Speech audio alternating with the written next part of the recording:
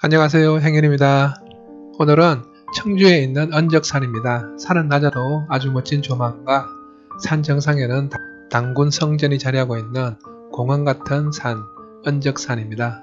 청주시 강내면 궁현리에 자리하고 있고요. 여기는 정상까지 승용차로도 올라갈 수 있는 그런 편안한 길입니다. 정상에 오르면 이렇게 공원같이 만들어진 멋진 이화정하고 당군 성전 그리고 여러 가지 볼거리가 자리하고 있습니다.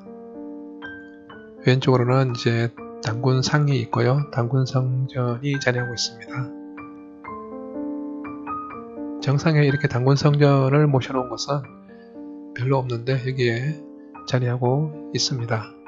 앞쪽에 있는 이화정 안내문을 보고 이화정에 올라서 보면 탁 트인 멋진 조망이 아주 시원하게 펼쳐지는 언정산입니다.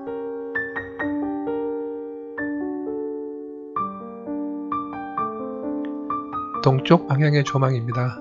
여기서 보는 일출이 좋아서 일출 행사도 여기서 이루어진다고 합니다. 남쪽으로 보이는 조망 그리고 서쪽으로 보이는 조망인데 일몰도 굉장히 좋을 것 같은 느낌입니다.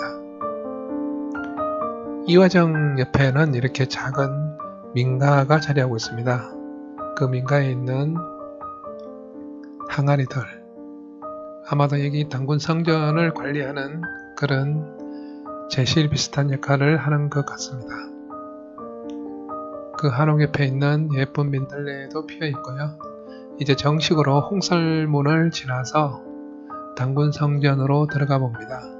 두 번째 문인 배달문이 자리하고 있고요.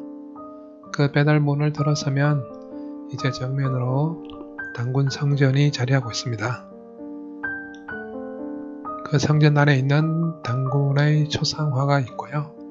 또 뒤쪽에는 당군의 가묘라고 합니다. 가묘를 이렇게 설치해 놓은 그런 모습입니다.